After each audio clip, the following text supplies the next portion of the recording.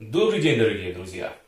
Во все года меломаны всегда хотели и требовали что-то новое, что-то уникальное, что-то интересное. Ну что ж, хотите, получайте. Сказал в далеком 1987 году Северодонецкий завод сопротивлений и выпустил на свет вот такие вот дивные и замечательные акустические системы электроника 25AS132. И что же в этих системах уникального, интересного и при чем они примечательны, мы сегодня с вами попробуем в течение нескольких последующих минут разобраться, а ближе к концу сегодняшнего выпуска я также предлагаю провести небольшой эксперимент, о сути которого я расскажу вам немножко попозже.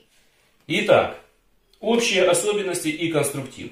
Как мы уже видим, инженеры завода пошли достаточно далеко с своей цели полного изолирования среднечастотного и высокочастотного звена от негативного влияния низкочастотного динамика и разделили все три громкоговорителя в свои отдельные корпуса.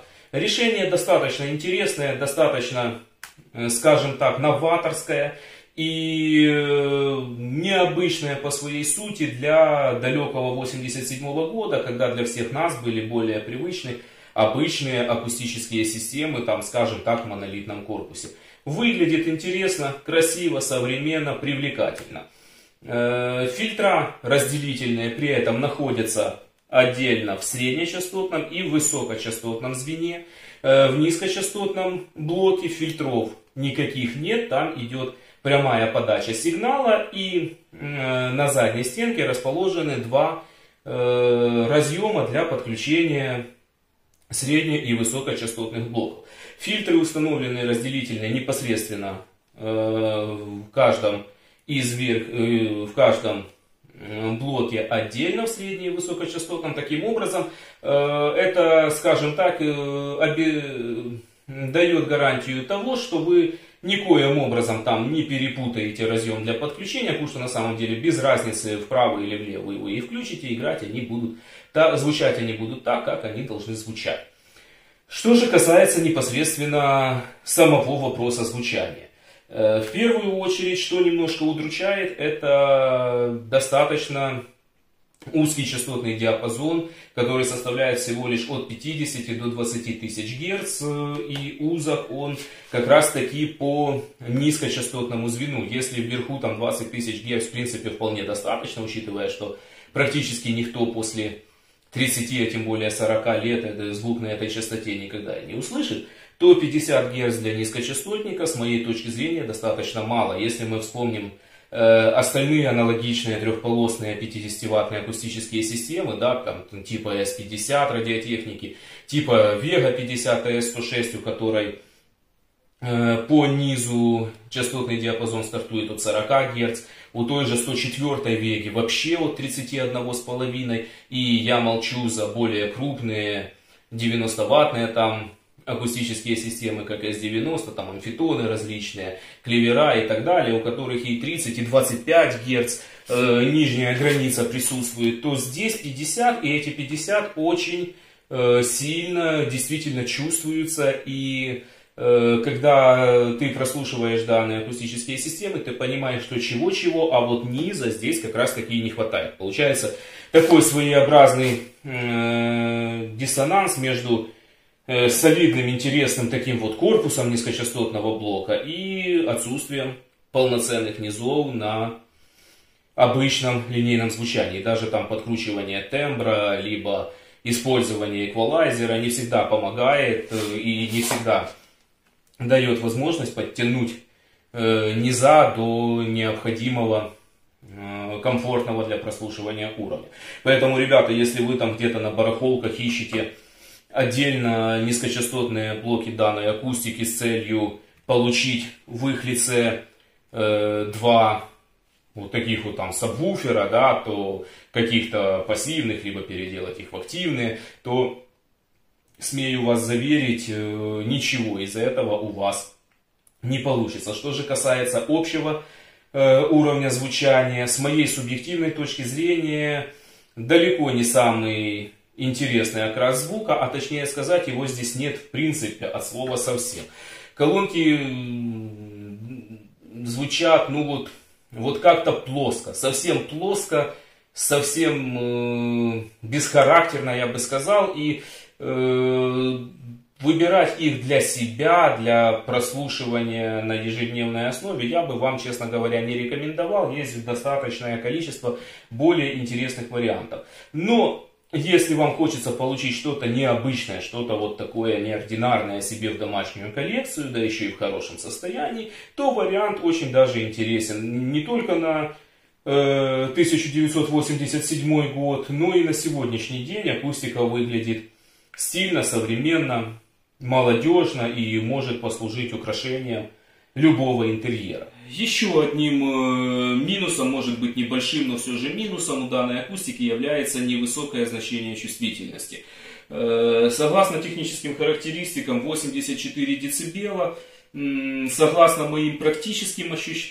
практическим ощущениям, действительно чувствительности у данной акустики не хватает. Вроде бы здесь и используются обычные, давно нам знакомые стандартные, громко, стандартные громкоговорители, 35 GDN 1.4 в низкочастотном блоке, 20 GDS 1.8 в среднечастотном и 6 GDV 6.16 в высокочастотном звене, но по уровню чувствительности данная акустика опять-таки уступает своим аналогичным собратьям.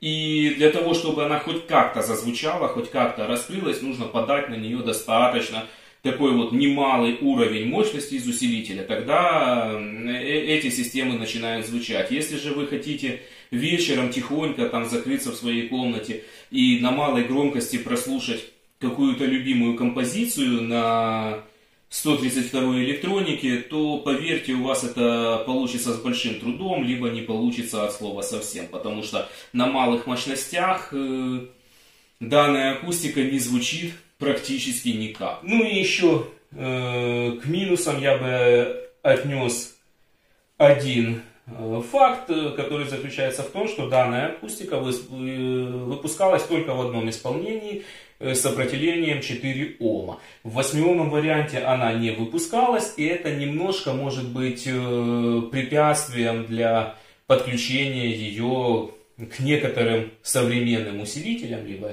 ресиверам, которые требуют э, только 6 или 8 Ом сопротивления на акустике. Здесь 4, поэтому нужно, э, имея желание использовать эти акустические системы у себя э, для прослушивания музыки, нужно также задаваться вопросом подбора под них усилителя, способного работать с четырехволнными акустическими системами.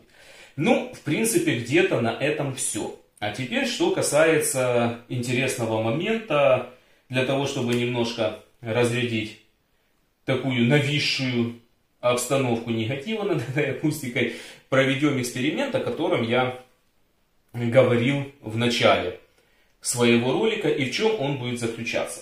Э, если обратить внимание на частотные характеристики каждого блока Э, данной акустики в отдельности, то мы можем заметить очень интересный факт.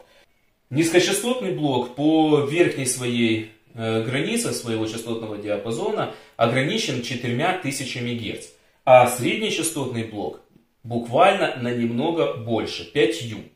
И я вот э, полистал, поизучал информацию, и если посмотреть вот сейчас на э, те графики, которые расположены в верхнем углу нашего экрана, то мы увидим, что согласно ним э, низкочастотное звено даже уходит за эти заявленные 4000 Гц и практически вплотную прижимается к э, верхней границе среднечастотного диапазона. И мне стало интересно, учитывая, что там используется и громкоговоритель наш, да, стандартный 35 GDN, который активно используется в двухполосных акустических системах и прекрасно, в принципе, вытягивает середину, мне стало интересно, а как эта акустика зазвучит без э, среднечастотного блока, если его, в принципе, отключить от слова совсем. Э, будет ли слышна э, разница в звучании просто рядовому обывателю, если не измерять ее там какими-то сверхточными приборами и не рисовать графики. Вот этим, дорогие друзья, я и предлагаю нам сейчас заняться. Я э, планирую включить несколько каких-то таких ударных э, ритмичных композиций, э, для того, чтобы послушать разницу между звучанием полноценной трехполосной системы электроника 25AS132 и урезанным ее вариантом, а точнее с отключенными среднечастотными блоками. Ну что ж, дорогие друзья, сейчас я запущу поочередно несколько коротких отрывков из различных композиций музыкальных для того, чтобы услышать разницу звучания с среднечастотным звеном и с отключенным среднечастотным звеном. Э, в первой, э, в первой будет звучать композиция в исполнении полноценной трехполосной акустики, второй, э, вторым отрывком за кажд, в каждой композиции будет звучать данная акустика в так называемом урезанном виде с отключенным среднечастотным звеном. И, дорогие друзья, с вашей стороны я ожидаю большое количество комментариев, в которых вы поделитесь своим впечатлением и э, расскажете мне, мне будет очень интересно услышать, с вашей стороны, действительно ли отсутствие среднечастотного звена кардинально влияет на звучание электроники 25S132. Либо же можно ее использовать и в качестве двухполосной акустики. Ну что ж, слушаем и излагаем свое мнение по этому поводу.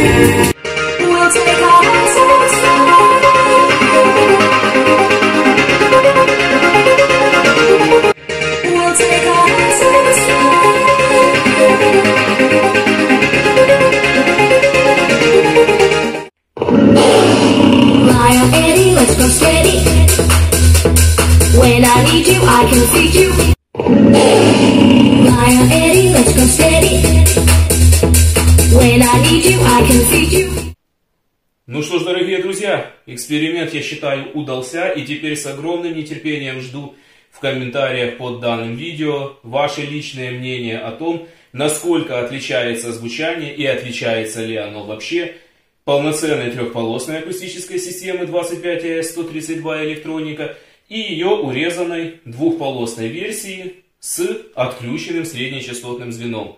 Пишите комментарии. Ну а у нас на этом на сегодня все. С вас, как всегда, лайк, подписка и, конечно же, ваше мнение о нашем эксперименте. Ну а с нас, как всегда, много всего интересного. Хороших вам дней!